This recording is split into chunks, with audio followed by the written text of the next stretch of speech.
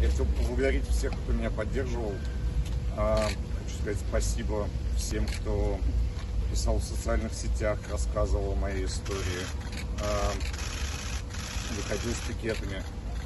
А, Спасибо вам всем. Я обещал добиться справедливости. Собственно, мы первый этап сделали. Надеюсь, скоро мы узнаем результаты второго этапа касаемо заказчика этого преступления. И вас, устраивают сроки, которые назначил приговор? Я удовлетворен решением суда. Скажите, вас еще не цели снова до защиты? Не могу ответить на этот вопрос.